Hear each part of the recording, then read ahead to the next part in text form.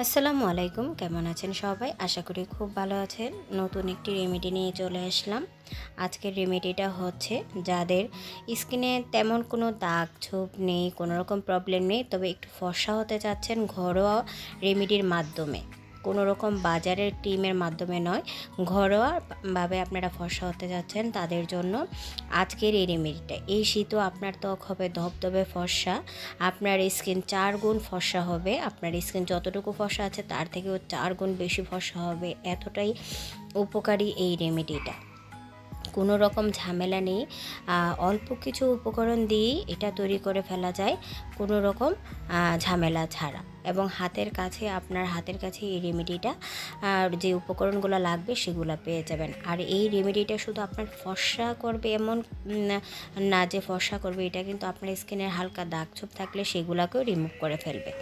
তো চলুন তাহলে দেখি আমি এটা কীভাবে তৈরি করে নেব। তো প্রথমে হচ্ছে এখানে আমি একটি বোল নিয়েছি। তার মধ্যে প্রথমে দিয়ে দেবো এখানে গ্লিসারিন। গ্লিসারিন কিন্তু আমাদের ত্বকের জন্য খুবই উপকারী। শীত বলে না, গরম না, এরকম কোনো মানে সিজনে না। সবসময় আমাদের স্কিনের জন্য খুবই উপকারী। এখানে আমি অল্প পরিমাণে একটু গ্লিসারিন নিয়েছি। দিয়ে দিলাম এখানে এক চামচের মতো গোলাপ জল। গোলাপ জল আমাদের স্কিনটাকে সফট করবে, আমাদের স্কিনটাকে নরম রাখবে আমাদের স্কিনের একদম কি বলব, ভেতর থেকে ফর্সা করার জন্য সাহায্য করবে। তো দেখতে পাচ্ছেন খুব ভালোভাবে এটাকে মিশিয়ে নিচ্ছি। এই যে দেখতে পাচ্ছেন খুব ভালোভাবে কিন্তু এটা মেশানো হয়ে গেছে। এই যে দেখতে পাচ্ছেন, তো এটাকে খুব ভালোভাবে প্রথমে মিশিয়ে নিতে হবে।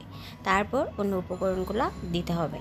তো এখন হচ্ছে এখানে দিয়ে দিব আমি ভেষণ একটু ভালো মানের বেসনটা নেওয়ার চেষ্টা করবেন। এখানে আমি এক চামচ পরিমাণ বেসন দিয়ে দিলাম। এই যে দেখুন, বেসনটাকে একটু মিশিয়ে নিচ্ছি। তো হালকাভাবে একটু মিশিয়ে নিলাম, দিয়ে দেবো এখানে নারকেল তেল। নারকেল তেল ওইখানে আমি অল্প পরিমাণে একটু দিয়ে দিলাম।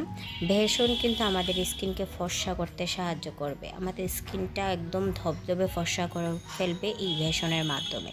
নারকেল তেল আমাদের স্কিনটাকে টান টান করবে, আমাদের রুক্ষ স্কিনটাকে সফট রাখবে। তো দেখতে পাচ্ছেন, খুব ভালোভাবে একদম মিশিয়ে নিলাম। অল্প পরিমাণে একটু একটু পানি দিয়ে এটাকে আমি গুলিয়ে নেব। একদম বেশি পানি একসাথে দিতে যাবেন না। অল্প করে, অল্প পরিমাণে পানি দিয়ে দিয়ে আপনারা এটাকে আপনার পরিমাণ অনুযায়ী আপনারা দিয়ে মিশিয়ে নেবেন। তো দেখতে পাচ্ছেন খুব ভালোভাবে কিন্তু আমি এটাকে মিশিয়ে নিচ্ছি অল্প অল্প পানি দিয়ে।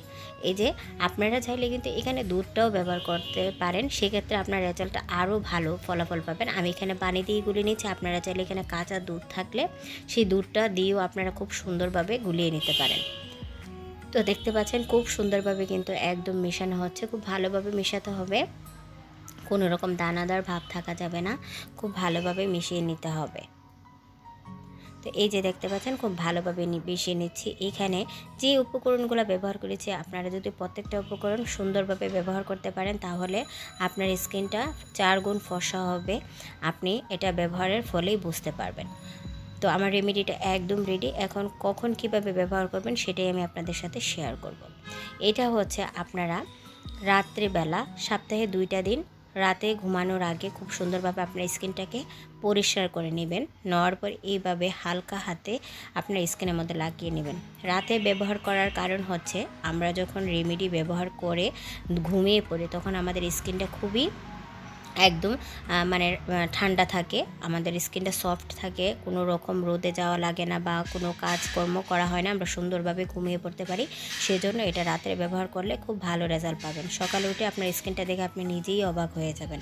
তো এভাবে করে প্রথমে হালকা হাতে একটু মাসাজ করে নেবেন তারপর পনেরো বিশ মিনিট রেখে খুব সুন্দরভাবে আবার ওয়াশ করে ফেলবেন। তখন আপনি দেখতে পাবেন যে আপনি সাথে সাথেই বুঝতে পারবেন যে কতটা উপকার পাচ্ছেন। তো সপ্তাহে দুই দিন ব্যবহার করলেই কিন্তু আপনার এক সপ্তাহে আপনি রেজাল্ট পেয়ে যাবেন। আপনার কতটা উপকার পেয়েছেন আপনারা দেখে নিজেরাই বুঝতে পারবেন যে এটার ফেন হয়ে যাবেন একদম মানে এই রেমেডিটার আপনারা ছাড়তেই পারবেন না। তো এইভাবে করে লাগিয়ে রেখে দেবেন। এই যে দেখুন আমি কীভাবে লাগিয়ে নিচ্ছি। আপনারাও এইভাবে লাগিয়ে রেখে দেবেন। তো আশা করি আমার এই রেমেডিটা আপনাদের কাছে ভালো লেগেছে। ভালো লেগে থাকলে লাইক কমেন্ট শেয়ার করবেন। চ্যানেলটি সাবস্ক্রাইব করে ফেলবেন। আজ এই পর্যন্ত সবাই ভালো থাকবেন, সুস্থ থাকবেন। আল্লাহ হাফেজ।